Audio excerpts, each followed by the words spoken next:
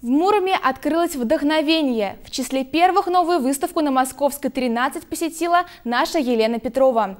О декоративно-прикладном творчестве в сюжете. Солнечная яркая, полная смелых решений выставка представила муромлянам широкий раздел искусства, охватившего самые различные отрасли творческой деятельности. Работ а, для нашего зала очень много. 199 а, работ. Не все они объемные, а некоторые совсем небольшие, плоскостные, но, безусловно, все очень интересные.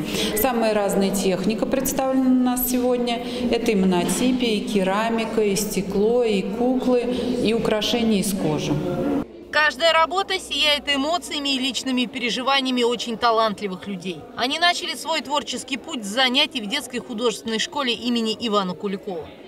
Я выпускница художественной школы. Василий Александрович Аношин – это мой учитель, я у него первая ученица. На выставке я представила не только художественную обработку кожи, которые, в общем-то, ну, представляла уже не раз и везде, и на всех уровнях, а сегодня у меня еще представлена керамика и краски водными красками на воде. От сердца к сердцу преподаватели художественной школы представили свои новые работы, мотивируя учеников своим личным примером пробовать силы в самых разных направлениях творчества.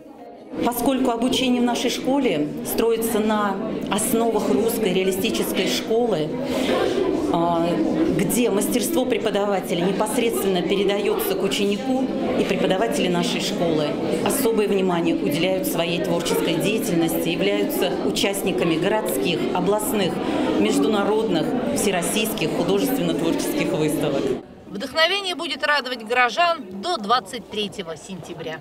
Елена Петрова, Алексей Капотов. Новости Муром.